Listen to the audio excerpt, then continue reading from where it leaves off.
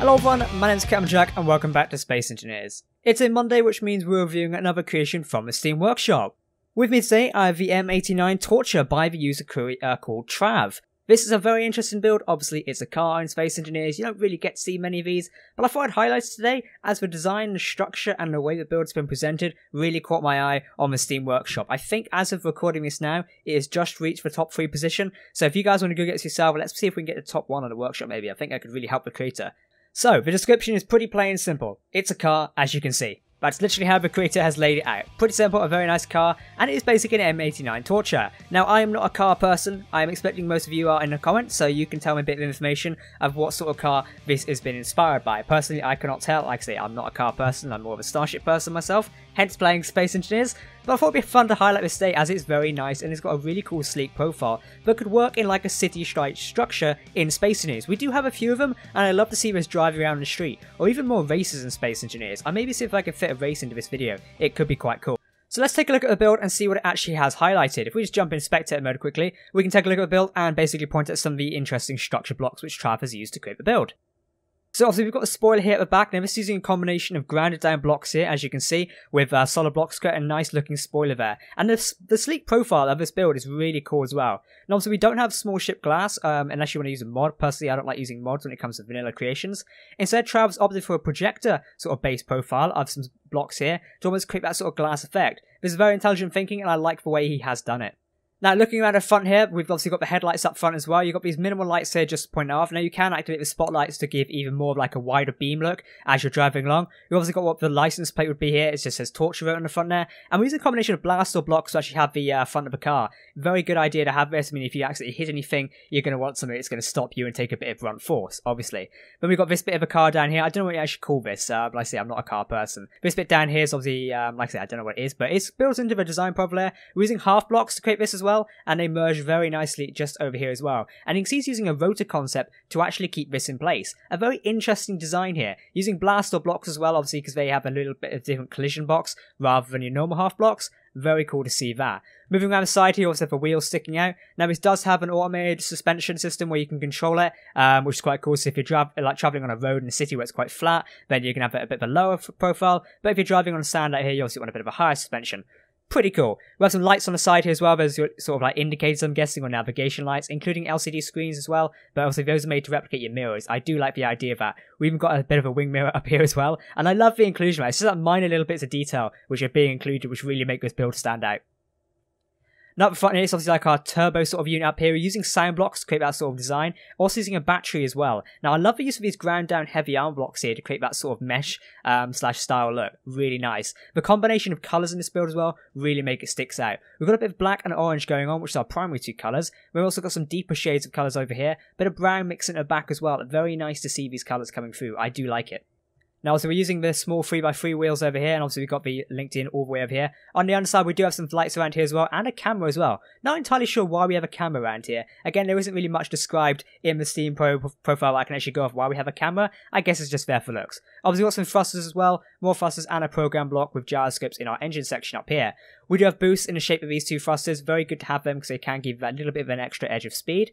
Then obviously got another license plates back here as well, and then a kind of our reversing lights, which I'm guessing we also have thrusters in the side ports here. Again, we've got boosts using a thrust. Very cool to actually have them, because obviously it can give the car that little bit of extra speed when it needs to go around the map. If we take a look at the interior minute, so this is what you've got. You've obviously got, uh, or basically driver and passenger, or you can have two drivers, I guess, if you really wanted to. And also, we don't actually have driving and steering wheel seats in here. We've got sort of got the joystick control, which is still quite cool to see it included.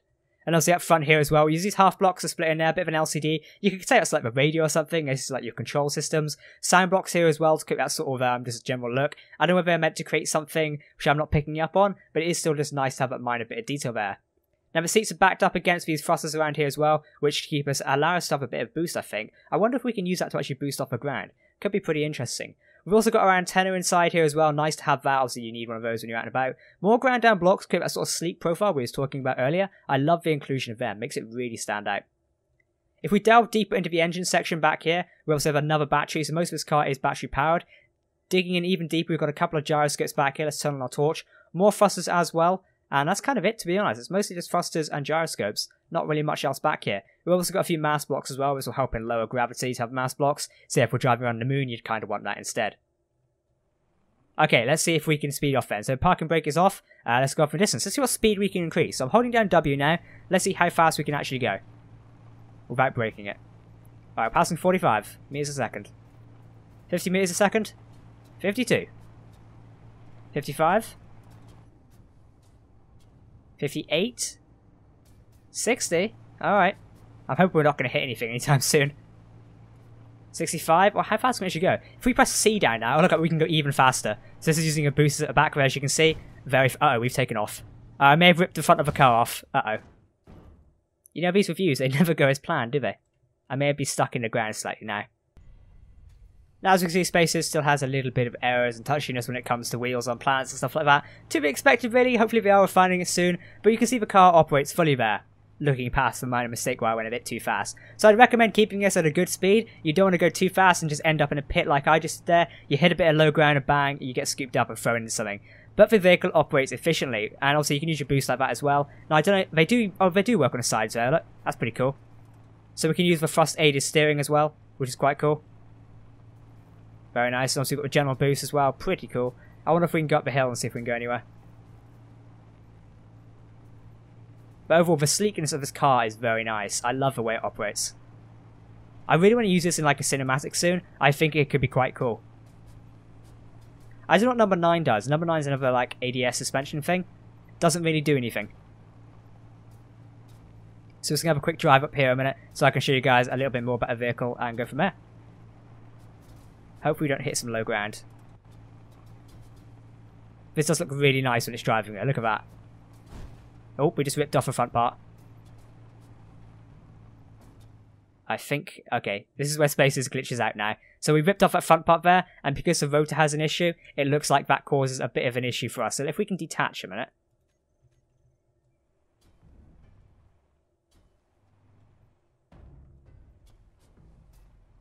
I've got a bit under my car now.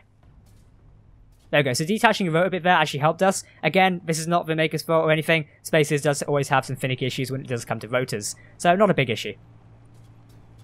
But nah, this, this car works so perfect. It's actually probably one of the best rovers I've seen. Ignore me just basically wrecking it at the minute. That is literally what I come to these reviews to actually do. But the car still holds up rather well. I've just wrecked the front suspension thing there, and now the back. Uh, the suspension probably not the best. So I wouldn't recommend tearing it around a planet um, as I'm just doing, so I've ripped the wheel off now. But the car can withstand quite a lot, so as you can see, I am putting it through its tests at the minute. I think I've now ripped off another wheel and a battery. Well, it was an honour serving you all. I think, however, we are going to go down a cliff now. Seems like an ending of a, a sitcom at this point. Uh-oh. Well, it's been an honour. Oh no, we still got park. Can we still drive? Surprisingly, we can still drive. Would you look at that? So guys, there you have it. This has been the M89 Torcher. A very interesting build. I'd really like to fit in a race at some point. I know I said previously I'd love to do more space races or just, you know, cars and rovers in Space Engineers. So if you'd like to do that, let us know down below in the comments and hit the like button on this video. I think we could really do something very soon. Some even like F1 style. Could be pretty cool. Maybe even like where we arm and weapons and stuff like that. I could definitely see myself using something like this um, over the border because that's a bit finicky. But I love the idea of this car as long as it's on a straight track pretty cool. I want to know what you guys think of this down below in the comments, so please do feel free to let me know. I'm Captain Jack, thank you for watching, and I'll see you next time. Goodbye.